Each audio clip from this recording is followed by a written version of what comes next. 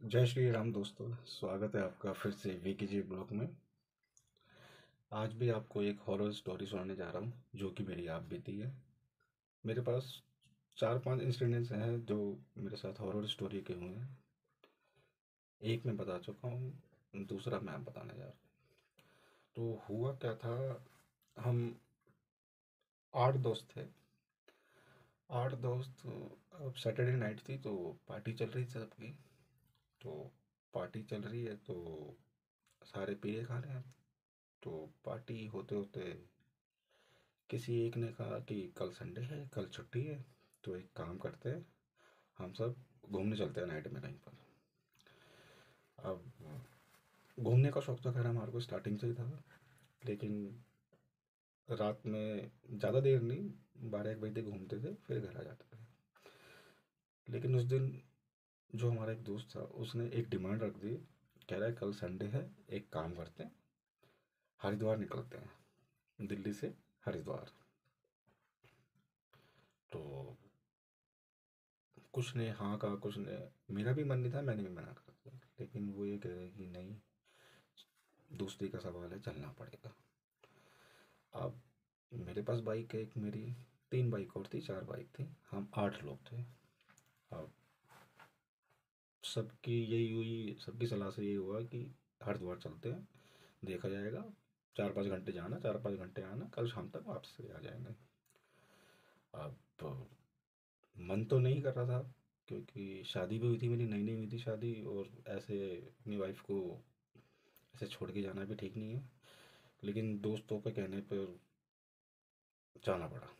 तो हम सबने क्या करा, टंकियाँ फुल करवाई चालू और रात के करीब बारह, साढ़े बारह बजे हरिद्वार के लिए निकल गए। अब हरिद्वार चले गए। अब ठंड भी थी थोड़ी बहुत तो जैसे तैसे हम पहुँचे, लेकिन बहुत टाइम लग गया हमें पहुँचने में। सुबह नौ बजे जाके हम हरिद्वार पहुँचे।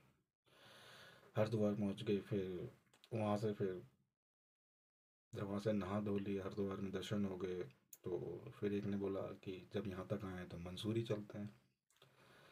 अब जैसे तैसे हम मंसूरी निकल गए। इस टूर पे मेरे साथ दो इंसिडेंट्स हुए थे जो कि हॉरर थे। बाकी मैं आपको बताता हूँ आगे क्या हुआ। तो मंसूरी पहुँच गए हम बाइक से ही तो मंसूरी भी पहुँच गए। वहाँ पर पहुँच के सबने अपने घर पे ही फ़ोन करा, लेकिन मैंने नहीं करा। तो अब मंसूरी पहुँचने के बाद वहाँ पर भी इंजॉय इंजॉय करा। वहाँ पर फिर हम एक रात रुक भी गए। तो संडे की रात हम वहाँ रुक गए, मंसूरी में।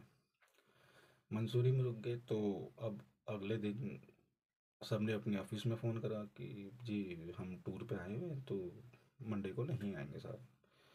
मुझे भी फ़ोन करना पड़ा। अब जैसे ही हम दिन तक घूमे वहाँ पर मंसूरी दिन तक घूमते रहे तो दिन में घूमने के बाद हम दिन में वहाँ से चले तो दिल्ली दिखा रहा था चार सौ किलोमीटर।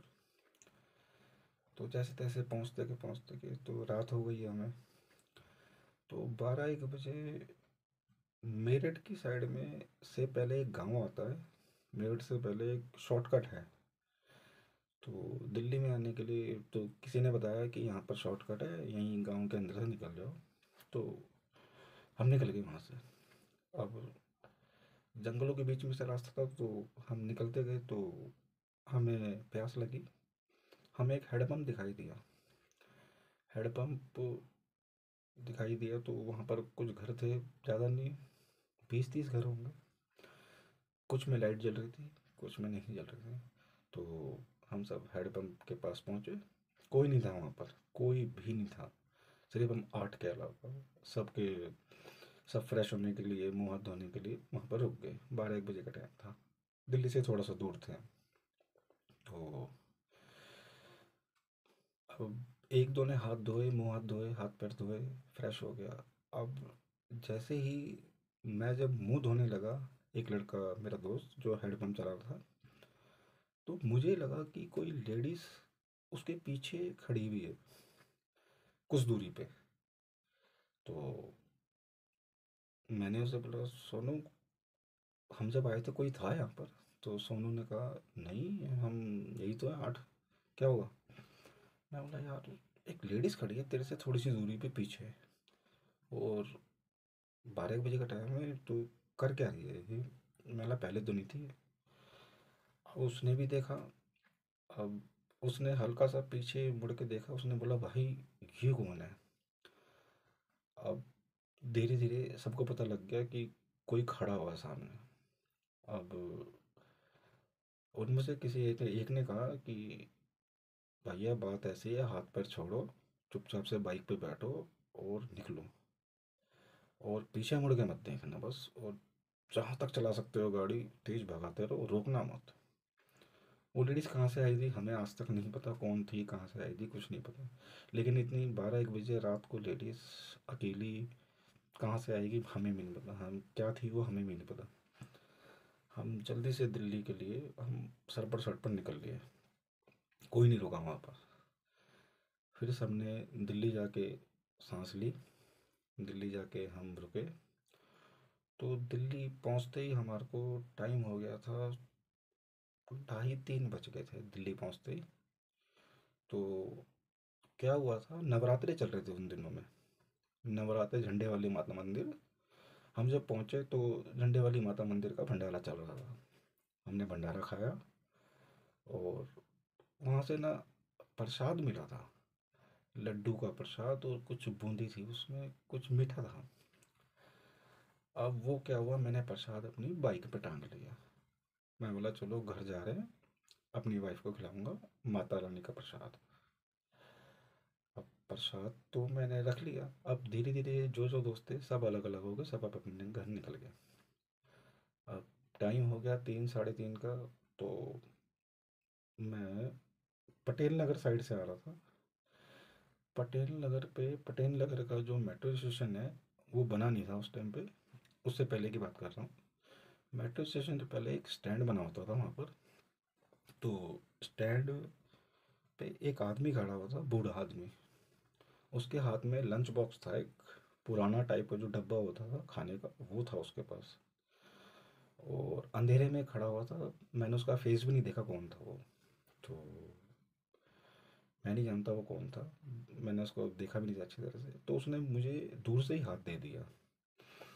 हाथ दिया तो उसने मुझे तो मैंने बाइक रोक ली और मैं अकेला था। सब चले गए थे दोस्त। तो फिर मैंने देखा कि उसने रुकते ही बोला कि मेरे को तांगे वाले स्टैंड पे जाना है, मेरे को उतार देगा।